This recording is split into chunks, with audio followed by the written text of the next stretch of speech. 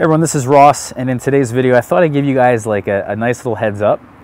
Um, you may be able to find some decent deals at your local garden center, Lowe's or Home Depot. I just found this pretty good deal here for a two cubic foot bag of, of uh, this Kellogg brand of garden soil.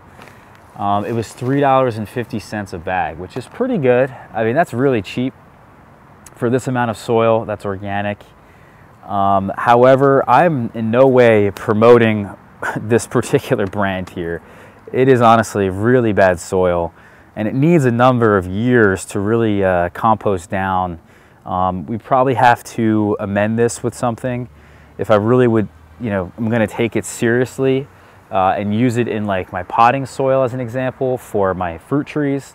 Uh, even in, in the garden beds, I think I don't wanna be using a whole lot of it. Now I wanna go over uh, what I'm using it for, and then talk about soil with you guys for a bit. So I'm using the soil here because I got it at such a cheap price. It's really the only reason why I'm buying it. I need a lot of material this upcoming spring because we joined a community garden plot, guys. We only have this one garden bed behind me. And then we also have a garden bed that's in the cold frame here. We're actually going to put the snap peas in the ground today.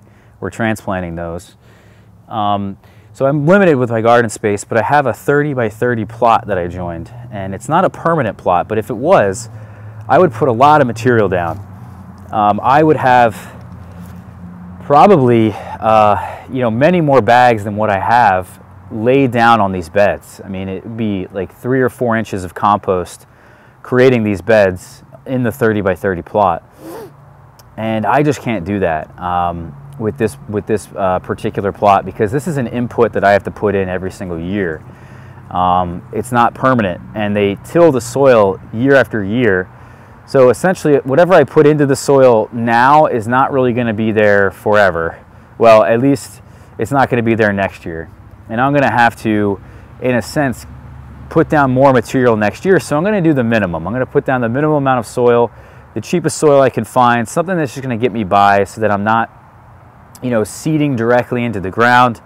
Um, so this is, you know, kind of just going to be an easier process. But honestly, if I use too much of this, I'm going to show you guys the differences between the soil that I like to use, which is the, the Just Natural Soil Conditioner. This is the brand of Just Natural over here. This is not the soil conditioner. This is the uh, cow manure. But this is the brand that I really like it's organic. It's really well broken down. We'll talk about the differences and why I like it so much between these two, but I can't really find it anymore, um, which is really unfortunate. This past fall, the nursery, the big, it's like a big nursery that I normally get this stuff at, doesn't sell it anymore. And it's really disappointing because it is seriously some of the best soil that you can find in a bag. Um, so I'm gonna have to look around, see if I can find it again. Maybe I can find something else that's an alternative. But I really do like this stuff because it's really well draining. Um, it has a lot of bark in it, which then breaks down. It's smaller pieces, it's pretty dense, but it has a lot of good drainage to it. And the compost is a, a good quality compost. It's not made of peat moss. And I'll show you guys here sort of the big difference between the two. If I look down in here, you can find most of this is indeed the, um, the just natural soil. And this is probably not the soil conditioner. This is probably the uh, mushroom compost right here. But it's, it's pretty similar. If I squeeze it, it's got a good moisture content, but it's not like, you know, like a sponge in a sense. You can see there's a nice worm in there. Now, if I were to go over and get some of this Kellogg soil, let me put you guys down for a minute have to open this up.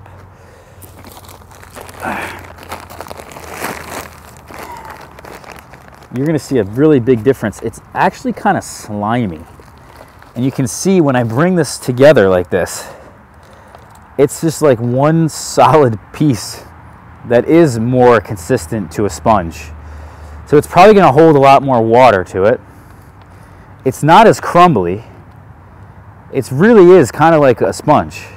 Um, and it's not that well draining either. There is some bigger pieces in it. I'm gonna just kind of break this up over here. And uh, in fact, there's some pieces are too big You can see here, so it's not really well broken down. It's kind of just like peat moss. And if I read the ingredients here, you can really tell it's uh, formulated with organic materials, more, one or more of the following, processed forest products, recycled forest products, arbor fines, peat, humus, sphagnum peat moss, or compost. But I'll tell you this right now, and there's it depends on what state you're talking about here.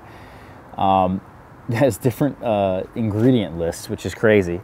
But I'll tell you this, most of it's peat moss. Uh, not a lot of it is compost. It's slimy, guys. There's something about it that's really slimy. If I touch it with my hand, it's really not pleasant. And it really doesn't remind me of something that's healthy. And my biggest beef with this, I'm gonna show you guys a close up here of the soil. Oh, excuse me. Um, you'll see this is it right here. And it's got those bigger pieces that we want, but they're too big, some of them. And it just, look at that. It just kind of is like a ball of clay in a way. And what this means to me, what this is telling me, is that it's going to have a lack of air. There's not going to be a whole lot of airflow. And you can make an argument and say, oh, well, maybe the Kellogg's has more nutrients than the other one. Maybe it's more nutritious. Um, I don't know if that's true, but let's just say it is for the sake of an argument. But I'll tell you right now, the issue with all this stuff, guys, is going to be simply the simple fact that there is a difference in air. And roots of our plants need air. Without airflow, they're not going to be healthy. So, this actually is a store-bought basil plant I could have started a lot, I could have started it from seed. But in here is really not a whole lot of airflow because it's peat moss and perlite exclusively. You can see the roots are pretty healthy. They're white. They're getting to that darker color, which is a good sign that it's time to up pot this. Um, I could definitely up pot this, and that's what I'm going to do today. I've gotten multiple pickings off of this, which is really good. I haven't had to feed it. I haven't had to um, do much really care at all except for just water it, which is good. But at a certain point, and especially this soil here, is way worse than what's in that basil plant, is I'm telling you that it's just becoming a anaerobic mess is really what it is. So my big recommendation here is not necessarily to, you know, bash this this soil here but it's to find something that is going to have good airflow to it. You can really imagine yourself that when the soil's in the ground and your plants are in the ground as well, are the plants going to get an adequate amount of, first off, moisture, right? That's obviously key. But most of this is going to hold the right amount of moisture. All, the bagged products are going to, they're going to have a, a good amount of moisture to them, but are they going to have enough air? And I think that's the key here is that this is not. It's, it's not also uh, the big difference maker is whether or not the material is broken down. Some compost, in fact, you may not even want to use right away because it's not broken down enough. And you may want to let the compost sit there for another year after you buy it. I mean, it's just difficult, I think, and it's really a struggle for a lot of us out there to find a bagged product that is well broken down, that's made of compost, that has the right drainage, that has good aeration to it. Um, yeah, so I'm sort of stuck with this and I'm gonna probably fill in some of this here in this raised bed, but it's gonna be very minimal. And uh, I just need some material here to fill in different spots in the yard um, at the community garden. And that's all I'm gonna use this for, is really if it's a permanent location like this raised bed, it's very, very little. We're gonna amend it with quite a bit. I'm gonna put the real good stuff on top and uh, that's it. So I hope you guys find some deals, but of course be wary of what it is that you're buying. Look at the materials, look at the ingredients on the back. Hopefully it's organic. Um, you can of course amend this stuff and of course it can break down over time. Um, but you know, is this going to be, if I were to grow exclusively in this garden soil, would I have success? Very little. And it's amazing, you know, some people are already automatically will blame the soil and not the grower. And I actually think in this particular case, it's probably the soil and not the grower. Um, you'll be amazed, I think, at the difference that you guys will have in your plants with the right amount of air into the soil, which then really helps those roots become healthy, and then therefore the plant is healthy. So thank you guys for watching this one. Uh, check us out on Fig Boss on Facebook and Instagram, and we will see everybody soon, all right? See you for tomorrow's video, guys. Take care.